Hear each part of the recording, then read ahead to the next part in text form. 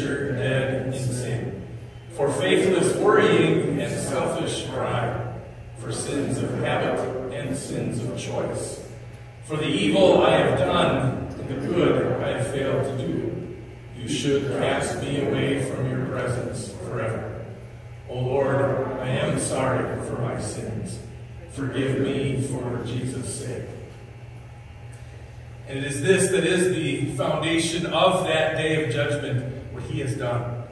Christ has died, Christ is risen, and Christ will come again. In his great mercy, God made us alive in Christ, even when we were dead in our sins. And so hear the word of Christ who was called servant. I forgive you all your sins. In the name of the Father, and of the Son, and of the Holy Spirit. Give thanks to the Lord, for he is good. His mercy endures forever. Let us praise the Lord, another hymn, verse of the hymn we sang at the beginning.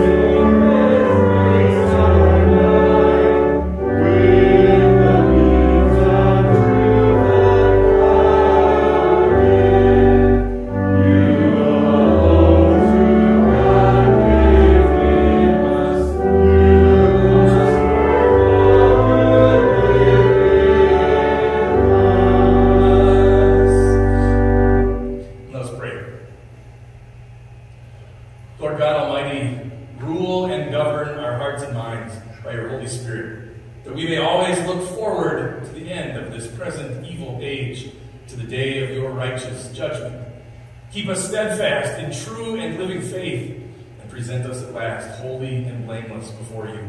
Through Jesus Christ, your Son, our Savior, who lives and reigns with you in the Holy Spirit, one God, now and forever. Amen. You may be seated.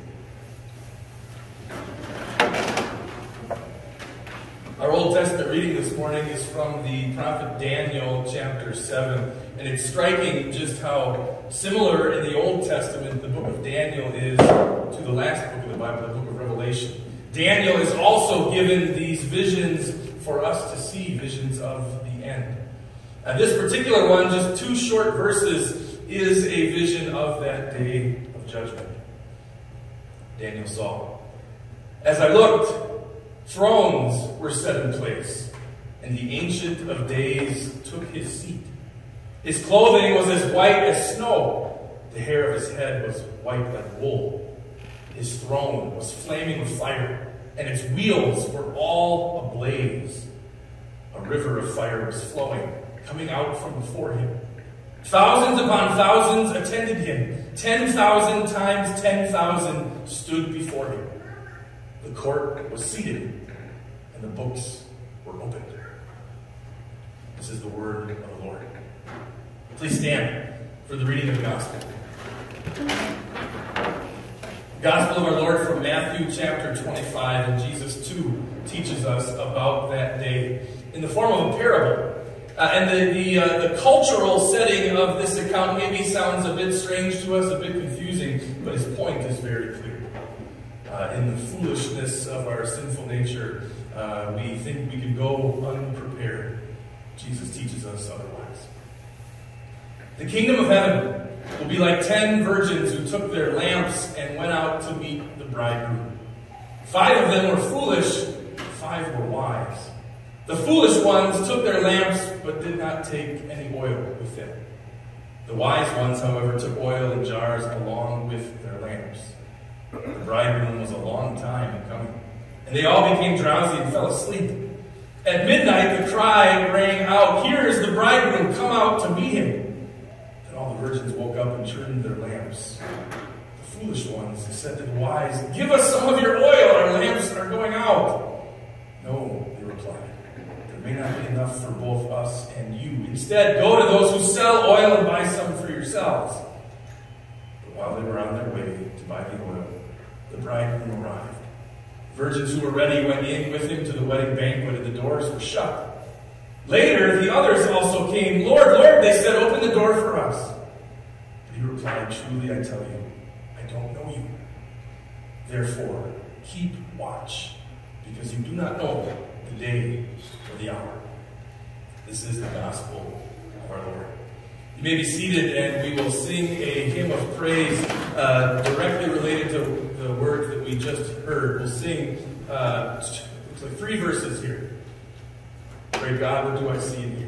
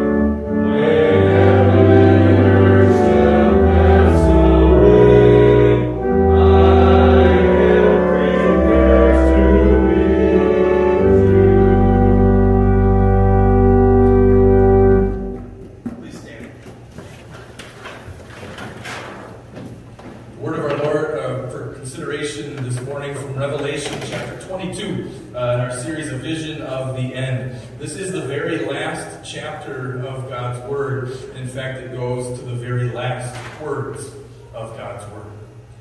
And we see in this vision, uh, this is Jesus speaking. Look, I am coming soon. My reward is with me, and I will give to each person according to what they have done. I am the Alpha and the Omega, the first and the last, the beginning and the end. Blessed are those who wash their robes, that they may have the right to the tree of life, and may go through the gates into the city. Outside are the dogs, those who practice magic arts, the sexually immoral, the murderers, the idolaters, and everyone who loves and practices falsehood. I warn everyone who hears the words of the prophecy of the scroll. If anyone adds anything to them, God will add to that person the plagues described in the scroll. And if anyone takes words away from this scroll of prophecy, God will take away from that person any share in the tree of life and in the holy city, which are described in this scroll. He who testifies to these things says, Yes, I am coming soon. Amen. Come, Lord Jesus. The grace of the Lord Jesus be with God's people. Amen. This is the word of the Lord. You may be seated. In the name of the Father, and the Son, and the Holy Spirit, your friends in Christ. A reward and a warning. Those two things very much go hand in hand a reward and a warning. I've learned that firsthand in raising small children. That's how it goes. A reward, this is what you'll get, and a warning, that is, if you do this or, or don't do that. And I can now see, looking back on my own childhood and my own teenage years, that's how it always worked then, too. This is what you'll get a reward as long as you don't do or do these things. A warning. It's really how, how everything in this world. It's a, it's a reward and a warning. And so children at home, they do their chores and they get an allowance or not. And so teenagers obey the, the rules of the house, and so then they get to go and do fun things with their friends or not. And adults, uh, we work at our jobs, we work hard, and we get a paycheck, maybe even a bonus, or we don't. Uh, and people everywhere, obeying the laws of the land and therefore enjoying the freedoms that we have, or not. It is all rewards and warnings, and that's how everything works. And so Jesus, here, in the last book of the Bible, the very last words of the Bible, he talks about a reward and a warning. See, I am coming soon, and my reward is with me. And then at the end of the text, I warn everyone who hears the words of this prophecy. And now we, we could understand Jesus' reward and his warning just like we understand every reward and warning in this world, as if they work that way. But I promise you, we come to a very terrible conclusion. Jesus isn't talking about anything in this world. In fact, he's talking about the end of this world. He's talking when all of it, including how rewards and warnings work, when all of it comes to an end. Jesus is showing us that vision of the end. For this last judgment Sunday, and so we want to know just exactly how he teaches us to know these things, rewards and warnings, now, before the end. What is the reward that Jesus is talking about? And what is the warning? What do they mean to us as believers in Christ? Revelation chapter 22. This is the Apostle John, abandoned, alone in his old age, left for dead on the island of Patmos. And it's Jesus who appears to him finally at the end of his life to comfort him, to give him this vision of all things, this vision of the end, the book of Revelation. And while throughout the majority of this book it's John who's speaking, John who's recounting all the things the Lord showed him uh, and all the things he heard and he saw for us to, to see with him. Most of the time it's John speaking, but here in this chapter, we get to hear the voice of our Savior again. And it's really a special thing because this is not Jesus uh, as he walked and talked on the earth with his disciples. This is not Jesus who was rejected by the chief priests and teachers of the law, Jesus who was arrested and beaten and crucified. This is Jesus in his eternal heavenly glory, exalted to the right hand of God who is speaking. The first thing he says in our text is, Look, I am coming soon. And just start with what that would have meant to John. Alone and abandoned in his old age, all the other 11 apostles have been killed by this point, and countless others of his uh, close friends throughout the churches he's traveled. Just think of John hearing those words from Jesus in tremendous comfort and saying, Amen. Come, Lord Jesus. And the Christian church, then, ever since, uh, for the last 2,000 years, and everything that the church has endured during that time, how many believers have heard these very words of comfort and said, Amen. Come, Lord Jesus. And then you and me here today, hearing this promise, these words of comfort, and saying the exact same thing. Amen. Come, Lord Jesus. Come soon to John, to the church, to each of us. What a tremendous promise that is. It, it's hard for us to understand that word soon because whatever it is that we're enduring at the moment, it seems like it just won't end. But look at that last word, the word soon. Jesus is inviting you to compare whatever time you have in the, the things that we endure in this life, to compare it to the eternity that is to come and to see this moment as nothing more than soon. Soon, he says. It's hard for us to understand, but perhaps even more difficult to understand is what he says next. He says, My reward is with me, and I will give to each person according to what they have done. And it's words like that that make our Lutheran ears sort of perk up. Wait a second now. How, how does this work again? the reward is based on what we have done. I thought it was just the opposite of that. I thought the, the, the hallmark of God's uh, the gospel is that it's by grace alone, through faith alone, not by our works. What does this mean? What is the reward he's speaking of? This isn't the only time God's word speaks like this. In fact, consistently throughout his word, he speaks just like this about a reward. The prophet Isaiah said in Isaiah 40, See, the sovereign Lord will come to us with power. He will rule with a mighty arm. See, his reward is with him. The Apostle Paul spoke just like this when he was talking to the Corinthians. He was talking to them about how they build upon the foundation of their faith, how they build on it wisely and carefully. And he says, If what has been built survives, the builder will receive reward. In fact, Jesus uh, speaks exactly this way about himself. In Matthew 16, Jesus said, The Son of Man is going to return in his Father's glory with his angels, and then he will reward each person according to what.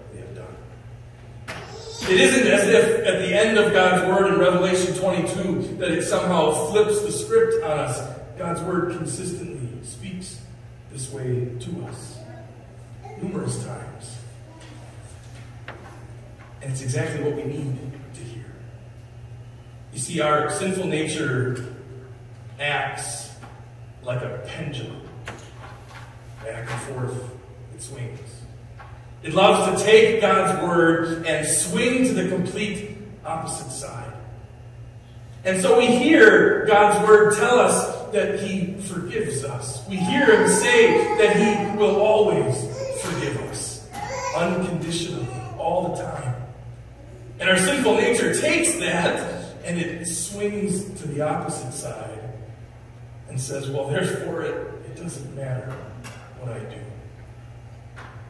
The good that I could do, the good that glorifies Him and the good that serves and benefits others, I don't have to do.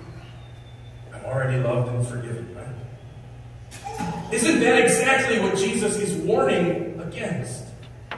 He says, I warn everyone who hears the words of the prophecy of the scroll. If anyone takes words away from the prophecy, God will take away from that person any share in the tree of life holy city. See, God's word speaks about the rewards of our faith, the rewards of the fruit of our faith according to what we have done. Because the sinful nature in us doesn't want to do anything, and it needs to be crushed. And so God's word repeatedly talks about our faith and the fruits of our faith being absolutely connected, just like a vine and its branches. And what a great warning that is for us to hear. To warn us against ignoring that fact. To warn us against subtracting it right out of God's Word. But unfortunately, that pendulum of the sinful nature isn't finished yet. And now it hears words about rewards. Now it hears uh, about rewards for the things we have done, and again it swings to the complete opposite side, and on this side it's perhaps even worse. Over here it thinks then that God must only love me because of the things that I do, or that God could never love me because of the things I've already done. And isn't that exactly what Jesus warns against?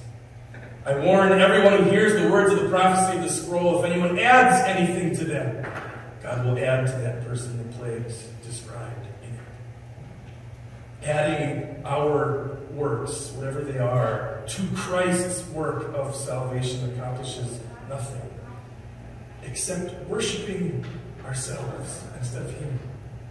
And adding our sins to it in the sense that they're too much for God, more than God could ever forgive only accomplishes the same thing. That sinful nature and that pendulum need to be crushed. Whether adding or subtracting. Whether thinking that rewards and warnings work the way they work in this world, um, they only lead us away from the truth. Swinging to either side. And what's the unfortunate result of that? Is that the day of God's judgment becomes only something terrifying to us. But it's our Savior who holds out the opposite for us. See, Jesus, the reward that He has for us, the reward is His. The reward is everything He accomplished for us. In fact, we could say it even better. The reward is Him. The reward He has for us is exactly who He is. And He tells us here, He says, I am the Alpha and the Omega, the first and the last, the beginning and the end. What a reward that is. Jesus, our unchanging God, unmoved by anything from beginning to end, and faithful in His promise to redeem us and forgive us. You see, it's a reward that doesn't work like any reward in this world. Jesus, who earned it all, gives it to us by faith, gives himself to us by faith. And so that all the things that we do by faith, to his glory and for the benefit and help of each other, no matter how miserably we fail in doing so, time and time again, and yet his reward is the same it is always undeserved. It is always unearned by us. It is always given freely and fully to us. And how can that be? Well, it's because the warning is also His. What happened on the cross is that God added to Jesus the plagues of all sin as we're told in this text from Revelation. God added to Jesus the total sin of all people of all time. Jesus was at zero, and then God put him at the maximum number. that our sins would be paid for. That we would, instead of being cast out of the kingdom of heaven, be brought into it by the blood of his Son. And we're told, Blessed are those who wash their robes, that they may have the right to the tree of life and may go through the gates into the city. The reward and the warning don't work at all like they do in this life. God has given to us freely. God has taken from us fully all of our sins. Have you ever met a celebrity? Have you ever met a, a, famous person, somebody maybe special to you? Maybe it's your favorite author or a, a movie star, or it's uh, an athlete or, uh, or a musician, somebody you just love to meet. It's a really exciting moment when you finally do get the chance to meet them. Maybe you had to wait in line outside, you had to wait and wait before you could finally go in. Maybe get an autograph or maybe even get to talk. And what is going through your mind in whatever amount of time leads up to that, whether it's a day or whether it's just hours? What is running through your mind? What am I going to say? What am I going to say to this person? And you start racking your brain of everything that you know about them because you don't want to get it wrong. Uh, how embarrassing would it be if you started to talk to that celebrity about them and they say, whoa, I think you, you must be somebody else. That's not me. What else is God's Word? What else is God's Word of all that it is? And it's so many beautiful things. The very light of this world, the very bread of life is God's Word. Of all the things that it is, isn't it also preparing us to meet? God Himself prepares us to meet Him, to know everything about Him, who He is, and what He has done for us, that we would be prepared to stand before Him. And this particular day, this particular Sunday in the church year, last Judgment Sunday, and in this vision of the end that Revelation gives us, God is very clearly placing it upon your heart and mine today. To think about. To think about it deeply. You are going to meet Him. And you have been prepared. Daniel, we just heard, gives us a vision of God sitting down and opening up the book of life.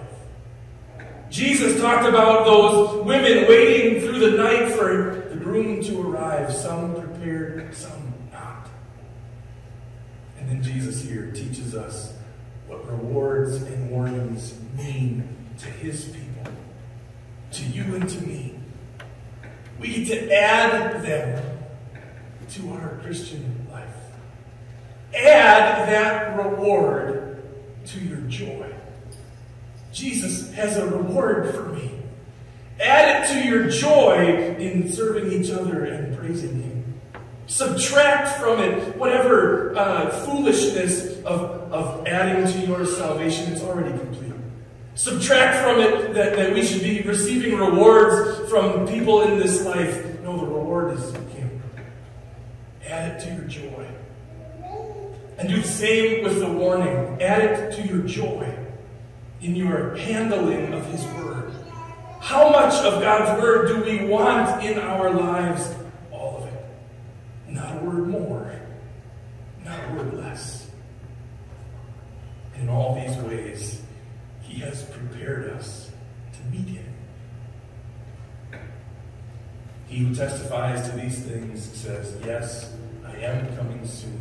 And we say, Amen. Come, Lord Jesus. And the grace of the Lord Jesus be with God's people. How does it end? That's all. Amen. Please stand.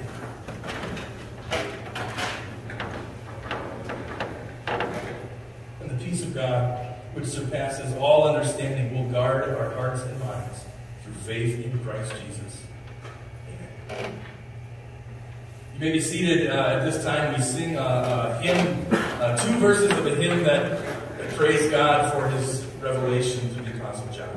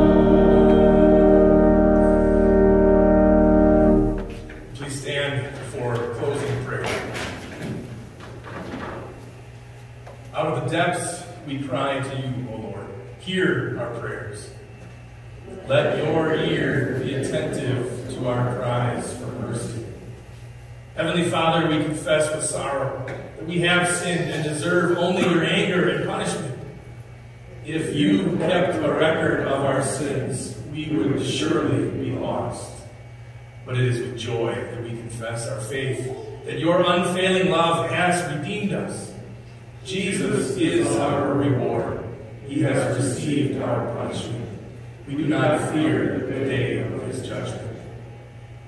Around us, we see all of the signs of the last days war and famine, earthquakes, false prophets.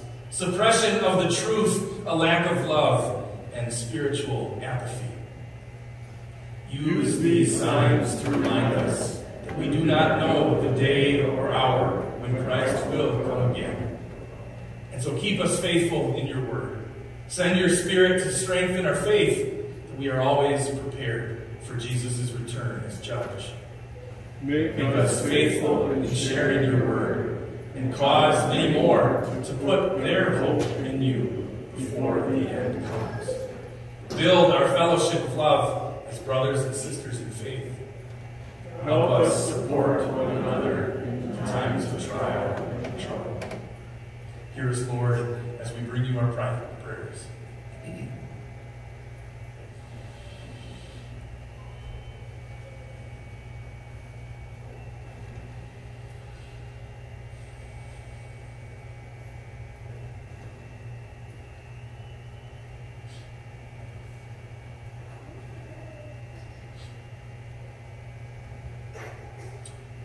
Heavenly Father, we eagerly await for Jesus to come again and make all things new.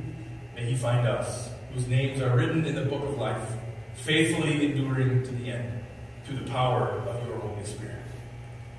Come, Lord Jesus, may your grace be with us always. Amen. Our Father, who art in heaven, hallowed be thy name. Thy kingdom come, thy will be done on earth as it is in heaven. Give us this day our daily bread, and forgive us our trespasses, as we forgive those who trespass against us. And lead us not into temptation, but deliver us from evil. For thine is the kingdom, the power, and glory, forever and ever. Amen. Lord bless you, keep you. The Lord make his face shine on you and be gracious to you. Lord look on you with favor and give you peace. Amen. You may be seated for our closing hymn uh, this morning. Again, uh, uh, speaking about all the things that we've heard in worship today. We sing, uh, looks like, two verses of The Day is Surely Drawing Near.